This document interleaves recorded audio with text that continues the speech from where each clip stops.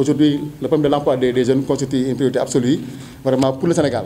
C'est pourquoi vraiment la mise en œuvre des domaines agricoles communautaires constitue une réponse pertinente et urgente euh, par rapport vraiment à l'atteinte des défis euh, qui, sont, qui, qui, qui, sont lancés par rapport à, l'emploi des, des, euh, jeunes.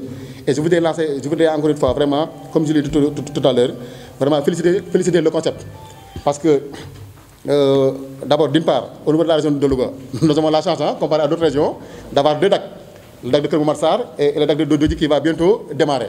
Donc c'est une chance unique pour la région de, de, de, Louga et même des régions quand même limitrophes.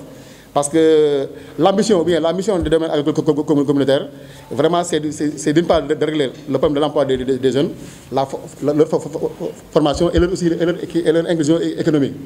Et à ce niveau aussi, moi, je voulais même faire le parallèle, hein, le parallèle vraiment entre les domaines agricoles communautaires et, le, les fameux kibbutz en, Israël. Vous savez, aujourd'hui, quand vous allez en, Israël, eux, ils ont réglé les problèmes d'emploi, les problèmes d'agriculture à travers les fameux kibbutz. kibbutz.